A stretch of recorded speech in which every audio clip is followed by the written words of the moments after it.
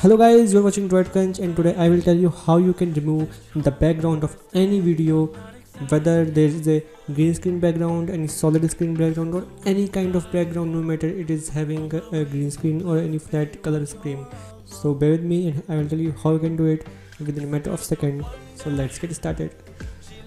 So here we have reached the software where you can do this. Uh, the name of the software is Unscreen. You can just go to your address bar and uh, type unscreen.com and here is the interface that you get the website. So i have a video of my clients. So you can just uh, let i can show you.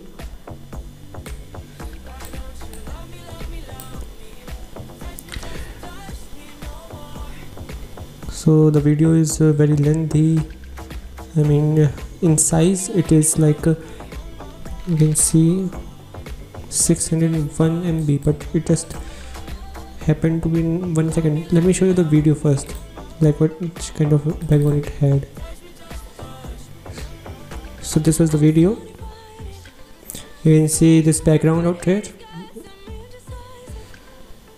So after uploading this is the result that you get and here are some of the video backgrounds that you can just replace here.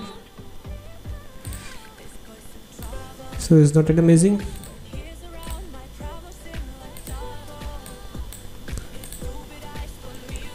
There are a lot of background. You can also do it with transparent and use your own background. And uh, it's a solid color you can use. Here are some images that you can use in the background and uh, when you're okay with the video you just hit download high resolution and you will video will download it or you can download it from right here as well.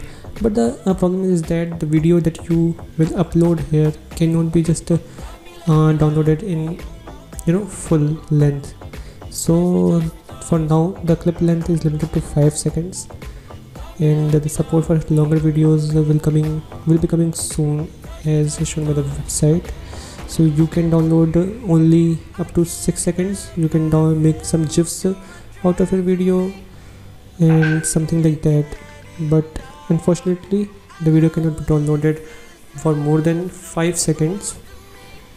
So I hope you like the video and hit subscribe to watch more videos coming soon on our channel. Bye bye.